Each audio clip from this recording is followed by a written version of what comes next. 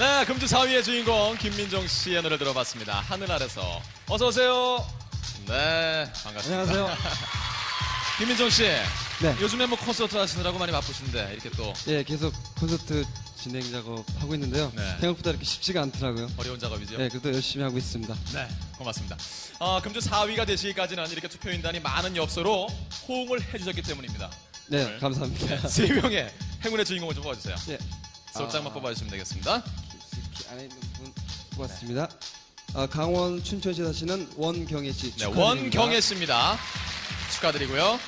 그리고요, 이분은 강원도 어, 강릉시에 사시는 김규남 씨. 어, 네, 강릉시에 사시는 김규남 씨. 강원도 계속 분이 강릉시네요. 예. 네. 그리고 자, 이분은- 마지막 한 분. 네, 마지막 한 분이요. 인천시 남구에 사시는 이충헌 씨. 네, 인천시 축하드립니다. 남구에 사시는 이충원 씨. 이렇게 세 분께는요, 하이패션 리볼리에서 제공하는 전자 키보드를 선물로 드리도록 하겠습니다. 네, 아, 오늘 대단히 고맙습니다. 네. 감사합니다. 네. 안녕히 계세요. 아, 방청 안내를 해드리죠. KBS 시청자 상담실에서 방청권을